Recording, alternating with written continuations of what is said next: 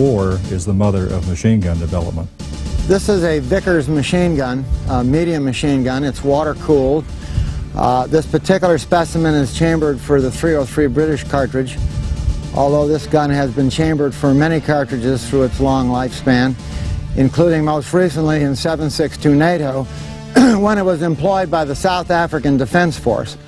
In fact, uh, this gun is painted uh, in the colors used in, in South Africa.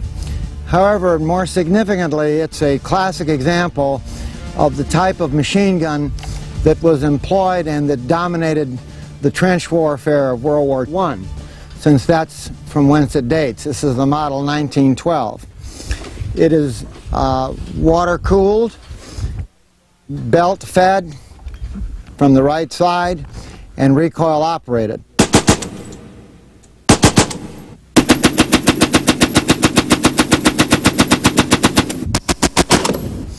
Here we see a fold-down anti-aircraft sight, uh, and here is a dial sight.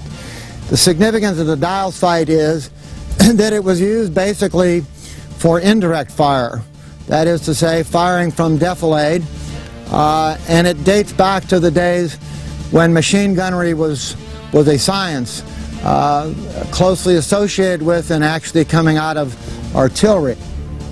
To load the weapon, you take the, uh, the tab on the cloth cotton belt, insert it into the feed block, pull it firmly over as far as it will go, take the cocking handle and pull the cocking handle while at the same time pulling on the belt, thusly.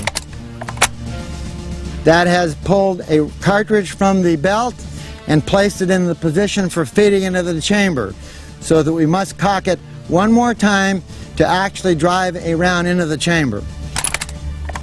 The gun is now loaded and ready to fire.